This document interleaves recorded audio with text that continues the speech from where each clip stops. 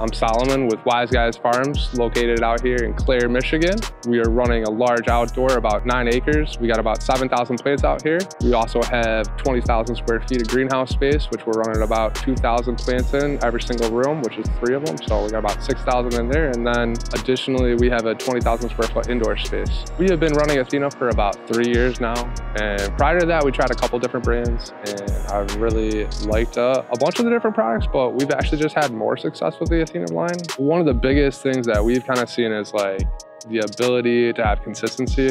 Outside, we have close to, I think, 30,000 uh, different drippers, and every minute spent on cleaning drippers out or trying to get salt development out of that is a problem for us, and it's just time spent away from the plant. So we try to utilize our team to be able to have them spend the most amount of time actually working with the plant.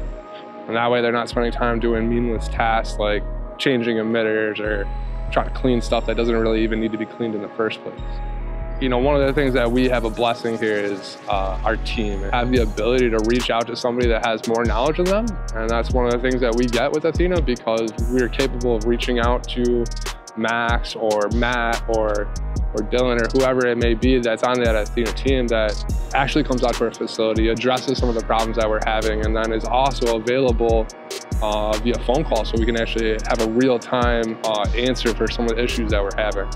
And you know that's been it's been huge for us because it allows us to just you know get to that next level.